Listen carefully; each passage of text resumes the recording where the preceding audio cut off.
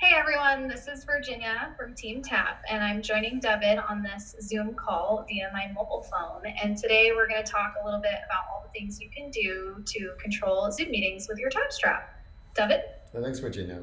So I'm recording on my side the, my entire screen so you can see how we're controlling things uh, using the tap strap. So this is a wearable keyboard, uh, and it's also programmable. So I programmed it so that it can mimic all of the hotkeys that you can do with Zoom. And this is great because now I, I'm not glued to my keyboard. You know, I can do my Zoom meeting and I can walk around, I can set up my camera remotely, um, and I can be in any position that I want to.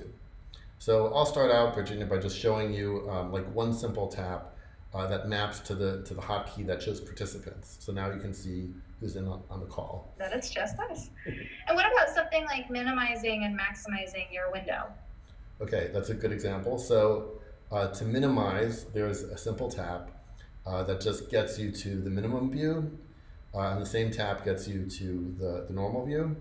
And then if I want to do full screen, let's say I'll, I'll do that for the rest of this, this meeting. Mm, that's great. And what about screen recording? Because oftentimes we do need to record information from meetings. Um, is there a simple hotkey for that? Yeah, just as simple. So that's the, the R version of that one. So I just started the recording and I can also end it like that. And I think most importantly, what if we need to step away from our computer or what if there's some background noise that we want to kind of drown out? How do we mute, unmute, or hide our video? So to, uh, to mute and unmute, uh, which like you said, we do it all the time. So uh, and to turn the video off, there's also a, a keystroke for that. I'll come back on camera. So Welcome back. Yeah.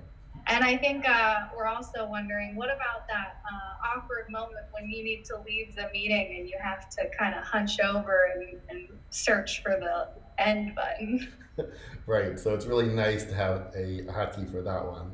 So I can now end the meeting just by hitting enter on my, keyboard like that.